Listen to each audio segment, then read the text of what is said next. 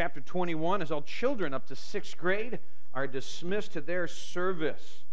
Uh, if there's any way we can kick the air conditioning, anybody else warm besides me? Okay, maybe it's just me, but it's warm up here. I'm about to kill the coat here in a second. We can make, just kick it down 20 or 30 degrees. Either way, it's fine. Some of you caught that. Okay, it's too warm. Not even getting the jokes. We're in trouble today. All right, John chapter 21. This morning we're going to continue on our series that we entitled a few weeks ago, Broken, Simply Broken, that God moving us from where we are to where He wants us to be. Today we're going to look at the idea of being broken from a completely different point of view. Put up the message at the next slide, Scott. From Peter, now go back one, go back one to the, there it is. Peter, from big mouth to broken. All right, that's the title of the message today. If any of you have ever looked at Peter at all, you know he had a bit of a big mouth. All right. I like Peter. He reminds me of me. Loud and obnoxious, all right, and impulsive. A lot like me. But what we're going to do today, today is very different. In, in the past last few weeks under this series, Broken, we have looked at how God took a broken piece and developed it into something amazing. He will do the same thing with Peter, as we know. Peter did great things. But today we're going to see a bit of a different trail. We're going to see Peter, who thought, man, I'm doing great things, became broken and then God could use him. For some of us, God will need to break us. We'll get to that in a second, explain what that means. It sounds horrible. I know that. Not a great introduction to a message because people are ready to leave or watch something else. I don't want to be broken, as the Lord may, you may say today. Let's look at John 21, verse 15. Uh, John 21, verse 15. Uh, the Bible says this So when they had dined, Jesus saith to Simon Peter, Simon, Son of Jonas, lovest thou me more than these? He saith unto him, Yea, Lord, thou knowest that I love thee. He saith unto him, Feed my lambs. Father, give us wisdom as we look at this entire story today. Help us, Father, to set aside the distractions that inevitably will be there, the things that Satan will do to distract us today from your word. Give us the next 30 to 40 minutes to be able to focus on you and you alone, not on a preacher, not on anything else, but, Father, on you. Satan will desire, Father, to distract people, to discourage people, uh, to convince them that what they're going to hear today is not true. Lord, may you bind him and may you use your Holy Spirit in our lives today. We ask this in Jesus' name. Amen. Got to fix something back here. John chapter 21, this story talks specifically about a time after the crucifixion. Peter's been fishing. Jesus comes. It's the second time they've done the miracle where they were able, unable to catch anything, and Jesus says, Throw the nets on the other side. Another great drawing. Same way, basically, they were called to be disciples. Then they come back on, and Jesus feeds them. They're excited about this, and then this conversation takes place. Interesting at this point, if you were to study this passage at all, you're going to find that Peter, at this point, is broken for a lot of reasons. And as he stands there, what we're going to look at predominantly here in a few minutes is the fact that I believe Jesus and Peter were viewing this entire conversation completely different points of view. And I think it'll help us to understand. Let me tell you why. We often view God from the human point of view. Have you ever done that? God can't answer my prayer because of, and we have a list of bad things we've done. We ask forgiveness nine times for the same thing because we've not forgiven ourselves.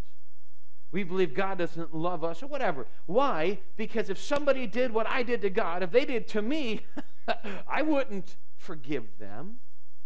We often view God through our mindset. And I hope today that we will be able to get a bit of a different view of God in that aspect. What do we mean by the idea of being broken? In introduction, I want to quickly explain this. This is not talking about punishment. That is completely different. That's chastisement, that's different. Broken is basically, to an extent, moldable. I've never worked with, you know, clay and all that other stuff. I lived in the South for a while, and so anytime you dug in the ground, it was clay, all red clay. But you watch, as somebody who's creating pot, pottery, you know what happens when they begin to create it and imperfection comes in that pottery? What do they do? Smack it. They drop it down to nothing so they can start back up. Sometimes, as Christians, we become self made Christians. We know the right things to say, the right things to do. We know all of that.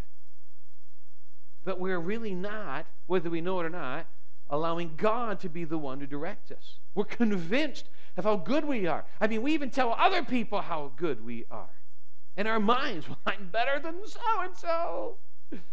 Don't don't raise your hand. Okay, you ever done that? I'm better than so and so. Okay, let me tell you straight out. You're all better than me. All right, so we can move on from there. Okay. Every if you find somebody that you're better than, whew, I feel good. Then it stinks. A missionary comes in, you find someone better than you, right? If you're comparing, you will always be miserable.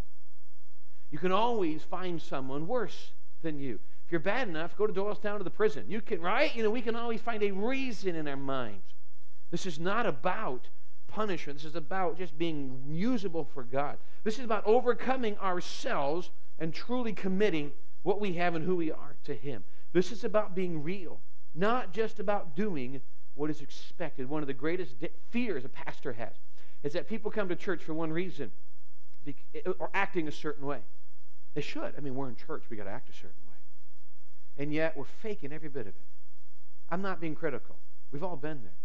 I'm not saying it's easy to. Here's what I'm saying is one of the desires of, for me as a pastor of the church here is not that we all got the good front and everything, everything's everybody's wonderful. That we can come to a church and we can be real between before God. Right? It's okay to acknowledge we're a sinner because everybody's a sinner. Anytime a preacher does a, a message on sin, you know the invitation is going to be one or two things really full or empty. You know why is it going to be empty? People say, I'm not going to admit I'm a sinner. People are going to know I'm a sinner. What am I going to do? Uh, if you're alive, you're a sinner. Okay, we, uh, we get that? Bible says, for all have sinned and come short of the glory of God. We got past that, all right. I, I really want us to understand just a more realistic aspect of what Christ is looking for. The main thing we will look at here in a little bit, the main phrase that we'll get to in about 15 minutes, is when Paul says this to Jesus, Thou knowest. There's some powerful truth behind those two words. Before we can talk about that story, though, I believe it's important for us to get some background. So on your screen, you're going to see some scripture I'm going to read. You can follow along if you want in your Bible as we look. The first point is this the path of the broken. The path of the broken. We're going to look at how John, or Peter, got to this point, starting in Matthew 26, verse 31. The Bible says this Then saith Jesus unto them, He's talking to his disciples, All ye shall be offended because of me this night. For it is written, I will smite the shepherd, and the sheep of the flock, uh, and the sheep of the flock shall be scattered abroad. He's talking about the disciples running away from him when he goes to the cross. Verse 32 But after I am risen again, I will go before you into Galilee. Peter answered and said unto him, Though all men shall be offended because of thee, yet I will never be offended because of thee. Yet will I never be offended. You get the point, big mouth? All right, you get the point where I'm going here? All right, I'll never. Verse 34 Jesus said unto him, Verily I say unto thee, that this night before the cock crow, thou shalt deny me thrice or three times. Peter said unto him, Though I should die with thee, yet will I not deny thee. Likewise, also said all the disciples. Once Peter said it, all the men, yeah! It didn't work out that way, as we know in the story. In these verses, Jesus tells his disciples they're going to abandon him. It's part of prophecy. It is going to happen. These are times, there are times in our life when we read the Bible or hear it preached and are convinced that what we're being warned about will never happen. Have you been there? I can handle it. I know so and so fell into it, but I'm better than them. I'm stronger than them. I will never happen. How many times have we sat and listened to a preacher preach the word of God, and God tells us that's what you're doing? God, I'll, i can handle it. I will never, ever do that. And then six months later, I can't believe I did that. I can't believe I did that. Can I tell you? A couple things. The Bible said there's nothing new under the sun, all right? There's no new problems we face today. You say, wait a minute, have you looked at the government? Have you done a study on government history? Right? This is not the first time America's gone through some of these things, but in general, we look and say, ah, we can handle it. The Bible says there's no temptation taking you but what is common to man. Okay, so if someone else can fall to it, so can I. But God is able, who along with the temptation make a way to escape that I may be able to escape it.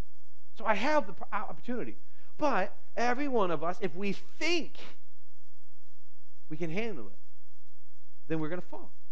Before destruction is before the heart of man is haughty. If I'm going to fall, it's because I think I got it. I love watching uh, people who, before great sports uh, events, and they talk about how they're just going to dominate the game. Then they go out there and they look like an idiot. You know, everybody wants. There's a certain athlete that years ago was bragging on how good he was. He was going to take his talents to a certain place, right? And he had an entire ESPN show on how he was just going to dominate. And he goes down, he got two rings, yes. But you know what? It's funny about that?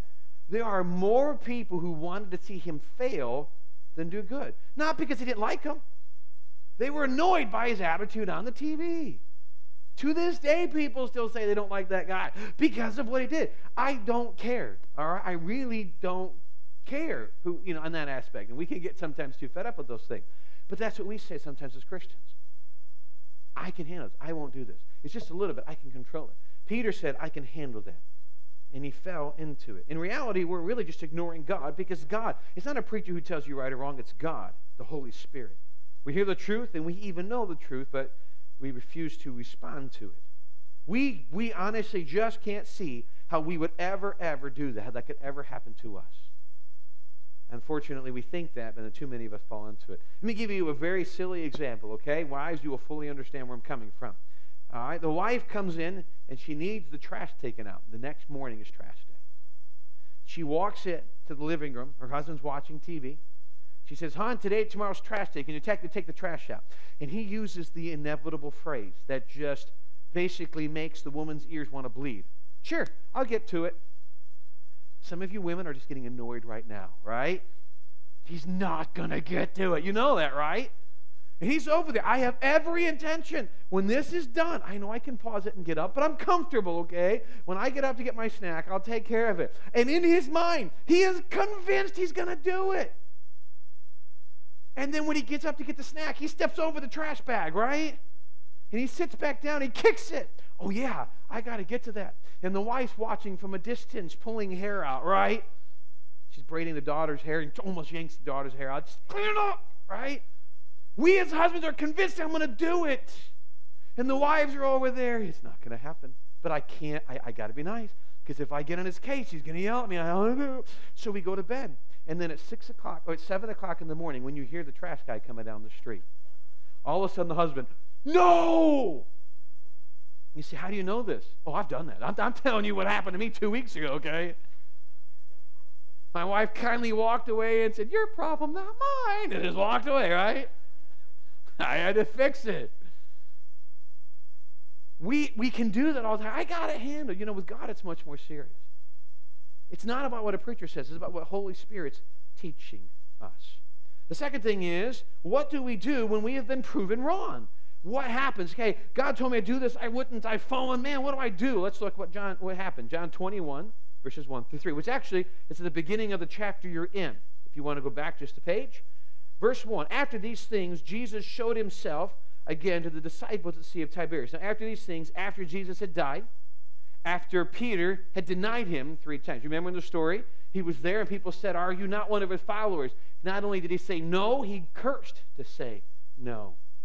Verse 20, verse he goes, After these things, Jesus showed himself unto the disciples at the Sea of Tiberias. And on this wise showed him he himself. There were together Simon Peter and Thomas called Didymus and Nathanael of Cana of Galilee and the sons of Zebedee and two other of his disciples. Simon Peter saith unto them, I go a fishing. They say to him, we also go with thee. They went forth and entered into a ship immediately, and that night they caught nothing. You know what he did? I'm going back to what I know. You know what happens when we mess up? God has said something, we've denied it, we've messed up, we walk away. I failed. God's right, I give up. It's not out of anger, it's not a frustration. Often it's out of just our own personal regret, guilt, things of that nature. And Satan's got us. He makes us feel guilty. You're horrible. Hey, God told you not to do it. You did it. Oh, you feel guilty. And he just beats us up horribly. So we just go back. We go back away from church. We go back to what we were before we met God. Why? Because Satan's got us. And we are so convinced we failed, we don't want to fail again. Peter went back fishing. He had all the opportunities, and he went back fishing. When things get hard, we believe that God doesn't care. When we do our own things and blow it, we go back to letting our flesh make the decisions and sometimes even blame God. In reality, we feel like we have failed God, and we don't want to ever feel that way again. So, what happens? We find ourselves back to where we were before we met God. What do we do? Now, to the main point of the message. Fortunately, God is not done with us, and maybe that is exactly, right here, is exactly where God wants us. How could that be? How could God want me in this spot? Number two, the power of the Savior. Verse 20, chapter 21, verse 15.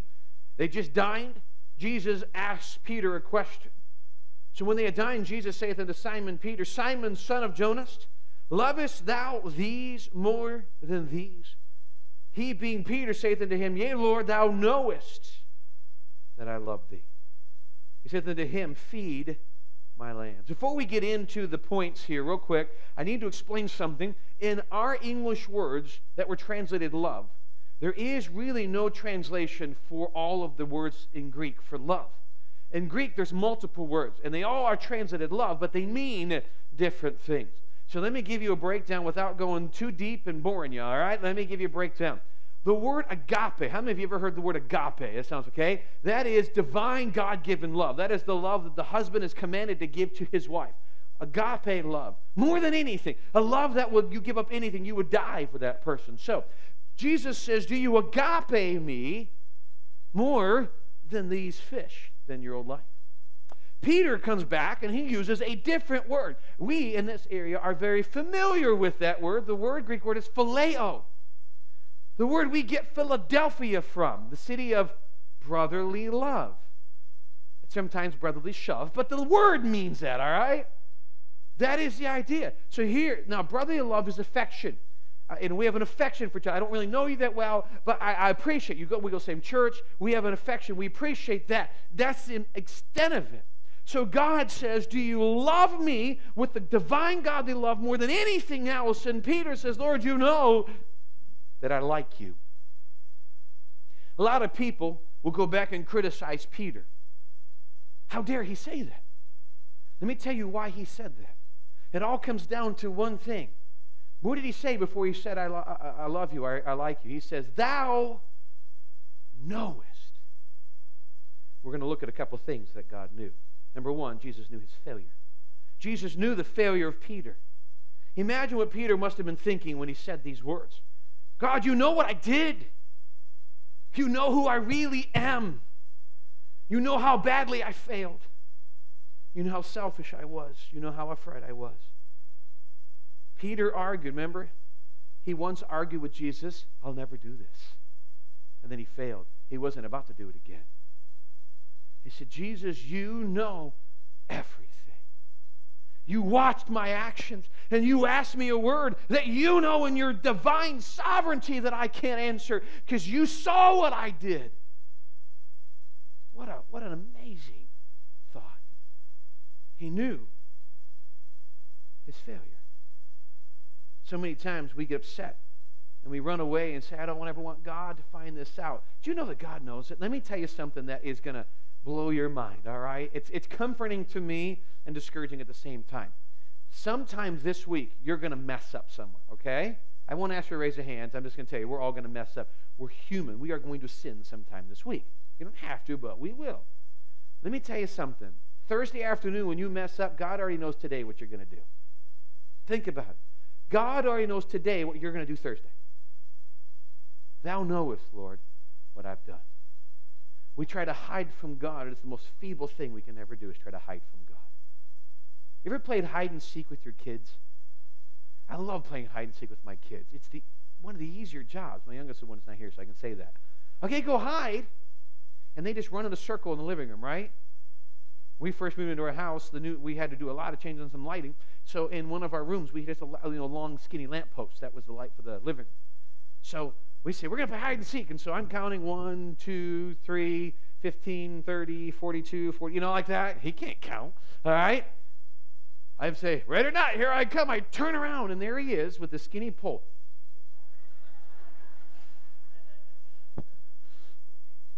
So you know what we do as parents, right? I wonder where he is. And so we pull the couch back, and I look in the fireplace and open the refrigerator, and all that time he's sitting there, you know? Then I walk right past him, and he slowly turns around the ball. I walk upstairs. then I come down. He goes, boo!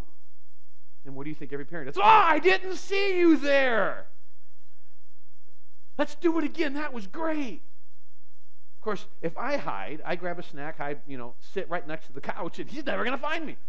So we do that for hours. It is the easy game. You know, that's silly for most adults. A great time with your kid, by the way.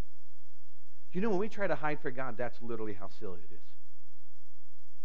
We're standing behind a pole where we, God can see everything, and He's like, Really? Remember Adam when he hid from God? God says, Why do you hide? God knew exactly where he was. He was asking Adam, What are you doing? That's exactly where Peter was. Peter says, Lord, you know my failure. Thou knowest. Aren't you glad that God knows? Aren't you glad you serve a God who's omniscient, who knows everything? Second thing, let me give you this principle. I, I think it's important. Remember, failure is not an end in and of itself. It was, it's a realization of how badly I need Jesus. That is the difference in thinking. I fail, I'm going to give up. You know what God says? Oh, I knew you were going to fail. And you're going to fail again. And you know what? Catch this. I am going to use your failure for good. You catch that? He's going to use my failure for good. I can't fail bad enough to not be used by God. Because my failure can still be used for God. Number two, Jesus knew his fear. Peter was convinced that if he continued to try on his own, he was just going to keep messing up. You remember the story. When he failed, when he, when he denied Jesus, Jesus looked at him. Oh, can you imagine the eyes of Jesus looking at you after you have just denied him? I mean, there are times God asks me to witness to somebody, and I'm like, oh, I'm nervous, I'm nervous, and I walk in and I feel bad. I can't imagine having denied it in his presence and then looking him in the eye. He knew his fear. Let me tell you something. We, God knows our fear. God knows we're afraid to mess up. God knows we're afraid to look silly. God knows we're afraid of all kinds of stuff. When I ask teenagers after camp to come give testimonies, you know what? What if I mess up? As adults, we're saying that's the best part, all right? But teenagers, I don't want to mess up. You know, what if I trip up the stairs? I've watched that happen. It's funny. Dr. Comfort years ago told me a story. In my last church, shortly after before I got there, they had redone the auditorium. Before that, I don't know why they did this, but there were a, there was three steps about three feet wide right here. So on either side, there was no step down to the platform. And if you ever watched Dr. Comfort, he's been here. He quotes scripture when he's reading. Instead of reading the Bible, he quotes the text. He's got so much memorized. It's just amazing. So he told me the story. He came back to Ambassador. He sat down. He goes, "You got to hear this." I laughed. He goes, "It's not funny." I'm like, "Sorry, it is." All right. So he tells me he's quoting the story. He's quoting the Bible. He walks over. He's quoting, and he takes a step down to the step that's not there, and he falls, hits his head while quoting. He said, I got back up. I'm checking for blood while quoting scripture. He said about three people noticed. The rest of the people are very studiously watching like this, you know, having no idea. How do you miss that, all right? And he's walking around, and the rest of the service, he's feeling warm spots, making sure he's not bleeding. No one noticed that he took a nosedive off the platform. And I said, Dr. Kevin, that's hilarious. He goes, No, it's not. Like, you would laugh at me, you know it. We all are going to make mistakes. One of the things years ago, when I first became pastor, many of you know, my greatest strength is not speaking. God gave me a really bad job for that, all right? So I make mistakes. And he, shortly after he became pastor, I made a mistake in the middle of preaching, and I just like, oh, goodness. And I just started laughing at it. I thought, what am I going to do? You're all laughing at it. Why can't I enjoy it too, right?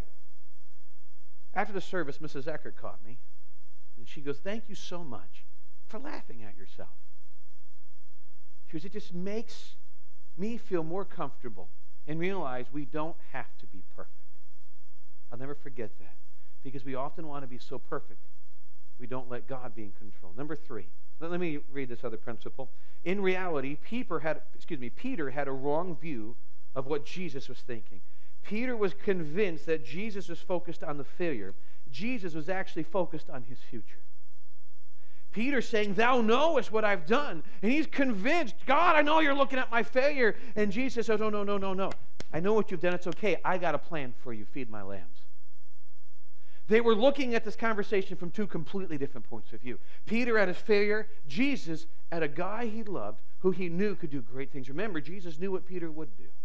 Jesus knew that one day Peter would die upon a cross upside down because he didn't want to die the same way Jesus did. Jesus knew that most of the men standing watching this conversation would give their life for him. He knew that. So when he says, Lovest thou me? He was just trying to show, I accept exactly the way you are. But I still have something great for you. We look at Jesus and we say, We failed. Jesus no, we failed, so we must move forward. Jesus now had Peter where he needed him to be willing to be honest and not trust in his own ability. Lord, you know. Jesus already knew that. I'm not telling him he didn't know. I have finally acknowledged. Jesus, you know who I really am. So here comes the really big question as we finish.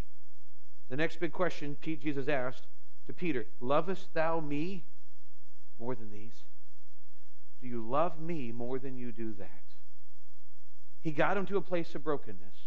He got him to a place to acknowledge failure is not the end. He got him to a place to say, Lord, I messed up. I can't really serve you. And then he asked really the most important question of the entire conversation Do you love me, Jesus, more than you do your job?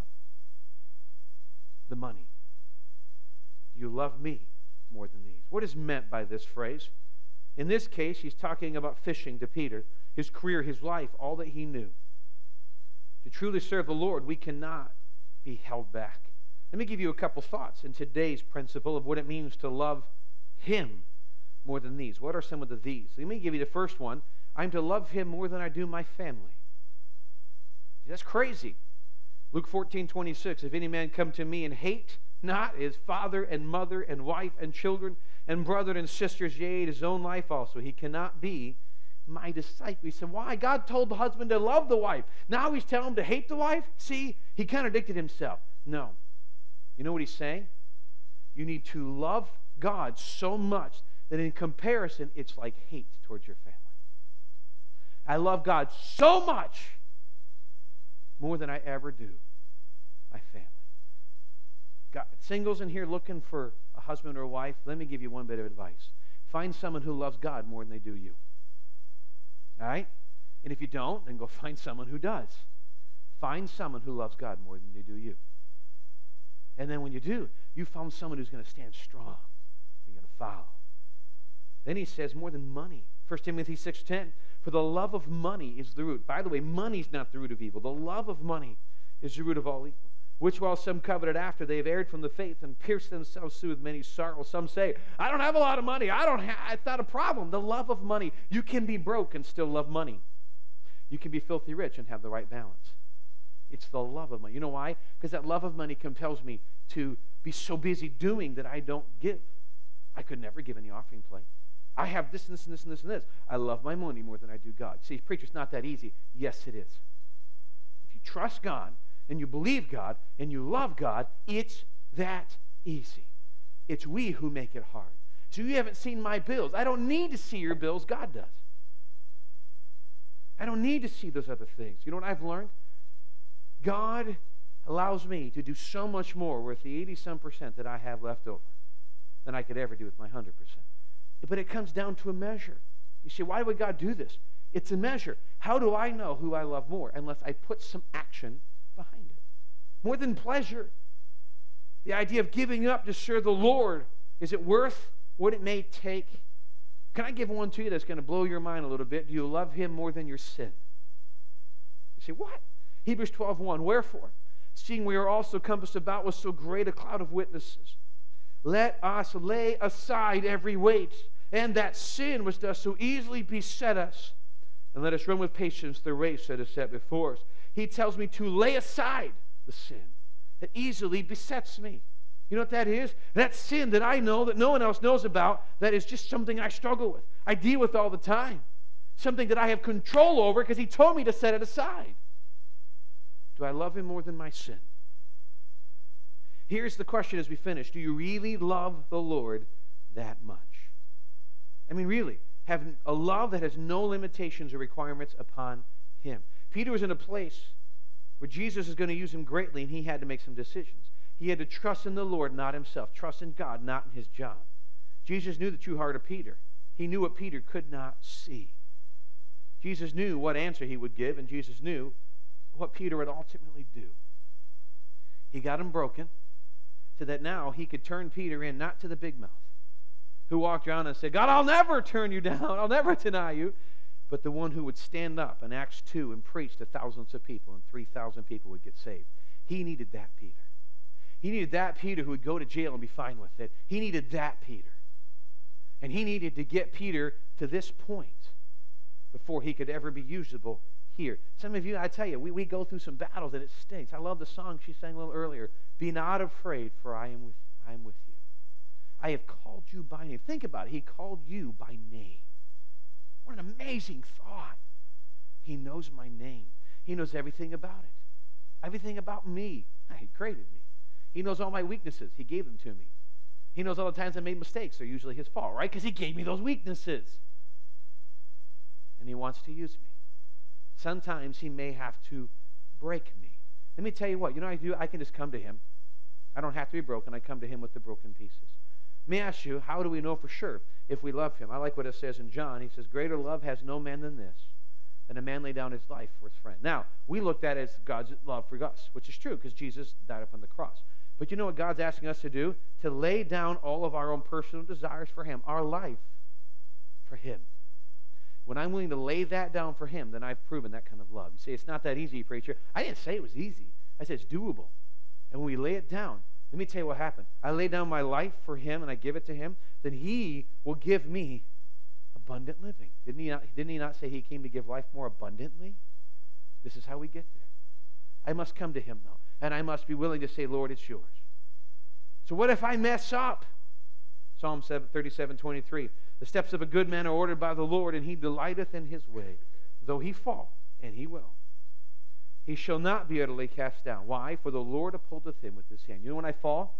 I'm just falling into the hand of Jesus. Think about it. When you mess up and fall, you're just falling into the hand of Jesus. What an amazing truth. He's never going to move it. He's never going to look down and say, How dare you do this? He's going to hold me there till I get back up and keep going. A just man falls seven times and rises back. Just give it to God. Lovest thou me more than these? And Peter said, Thou knowest. Father, we love you. We thank you for the truths of the Word of God this morning. We thank you, Lord, for the privilege we've had to study it, to look, Lord, in depth at a conversation that you and your disciple had. Father, it is such an amazing thought. As Peter says, Lord, thou knowest. You knew. You knew everything. That was the whole reason you were there. The Father, Peter needed to be in a place where he could be usable. Father, even to those of us who are walking with you, need to always be broken, always be allowing you to mold our future. For those in this room who are holding on, they're missing out on great blessing or what you could really do because they're like Peter. They're so convinced how good they are, and they have not become broken. Father, there's someone here who are completely broken.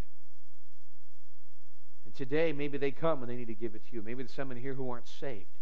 And that's exactly what they need is to get saved.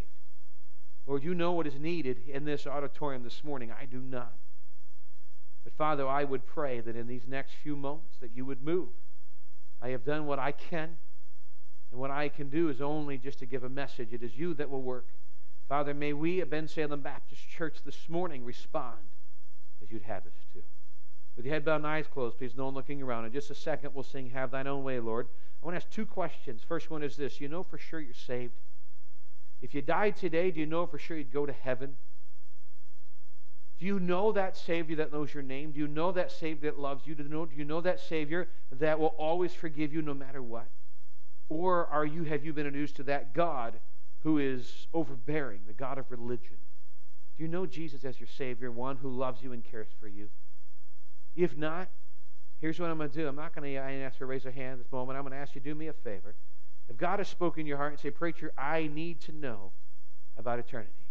In a moment, as we begin to sing, I'm going to be on the floor in front of the pulpit. If you would just come, introduce yourself to me, and I will introduce you to someone who will take you to a side room, and we'll just share some scripture with you. And when you look at the scripture, you will make a decision what you will do with Jesus. We will not embarrass you.